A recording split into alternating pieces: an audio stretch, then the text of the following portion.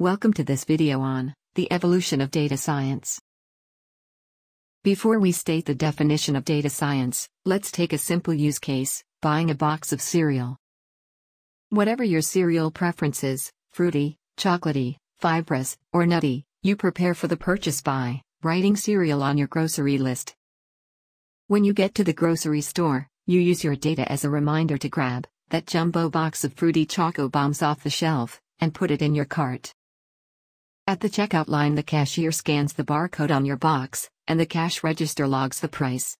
Back in the warehouse, a computer tells the stock manager that it is time to request another order from the distributor, as your purchase was one of the last boxes in the store. You also have a coupon for your big box, and the cashier scans that, giving you a predetermined discount. At the end of the week, a report of all the scanned manufacturer coupons gets uploaded to the cereal company, so that they can issue a reimbursement to the grocery store for all of the coupon discounts they have handed out to customers. Finally, at the end of the month, a store manager looks at a colorful collection of pie charts, showing all of the different kinds of cereal that were sold, and on the basis of strong sales of fruity cereals, decides to offer more varieties of these on the store's limited shelf space next month. So, what is data science?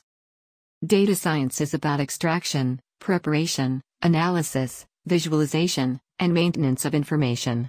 It is a cross disciplinary field, which uses scientific methods and processes to draw insights from data.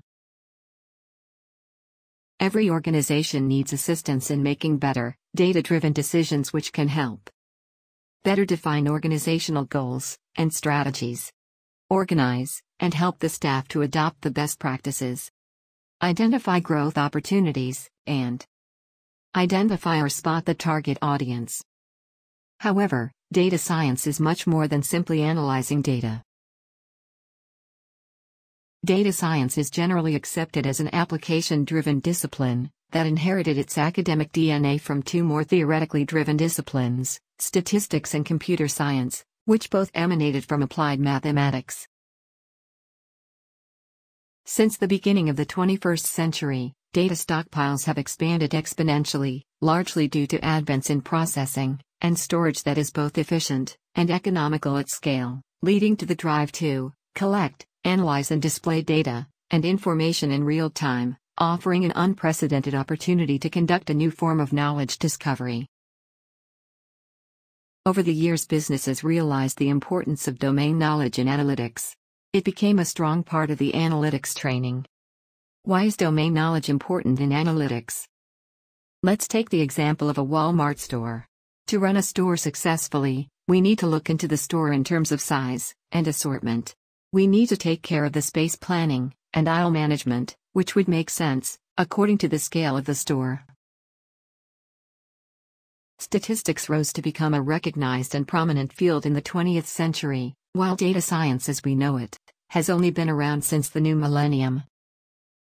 Data science came into existence when some statisticians chose to separate themselves from traditional mathematics and computer scientists. The first real examples of statistics and computer integration were pioneered by Marvin Minsky and Arthur Samuel, two men who are arguably the forefathers of machine learning. Minsky created the first randomly wired neural network, codenamed SNARC, in 1951, while in 1949, Samuel designed a self-learning checkers program for a commercial IBM 700 computer. From here on in, the tide began to change, with computers sharing the driving seat with humans in the advancement of statistical analysis. Thus, data science is a combination of various disciplines including mathematics, computer science, as well as specific domain knowledge. Overwhelmed? Don't be. While this field might be a dream come true for people who enjoy analyzing data and could happily spend all day looking at histograms and averages, data science also offers a range of roles and requires a range of skills for those who prefer other activities.